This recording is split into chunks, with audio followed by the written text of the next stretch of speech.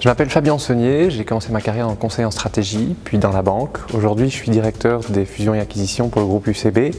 Et donc, ma carrière en entreprise est à l'intersection de la finance et de la stratégie d'entreprise. Euh, il y a six ans, j'ai commencé à donner cours, des cours d'entrepreneuriat, de stratégie, de responsabilité sociale de l'entreprise. Et dans l'executive master in management, je donne des cas euh, sur les management buyout, euh, sur les business models sociétals et je coach des équipes d'étudiants à réaliser des business plans. Le socle principal de l'EMM est la méthode des cas. Euh, j'y vois trois avantages très forts compte tenu des participants que nous avons, de leurs caractéristiques et de leurs attentes.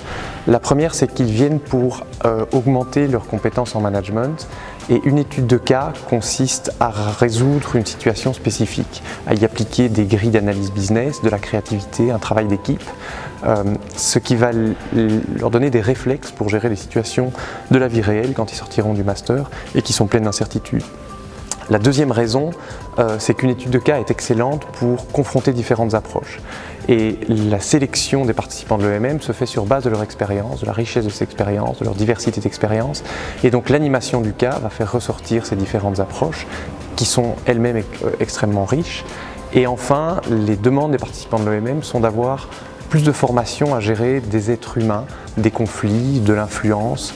Euh, et les études de cas sont un très bon terrain de jeu pour faire ça, puisque toutes les études de cas se résolvent en groupe et ils peuvent donc appliquer les outils qu'ils voient dans les cours de leadership et dans les cours de ressources humaines.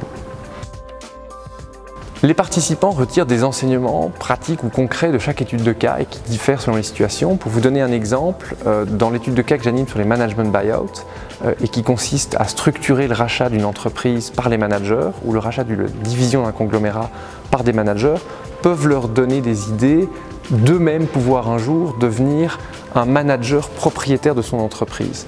Et s'ils arrivent à faire cette expérience-là, ça change leur vie.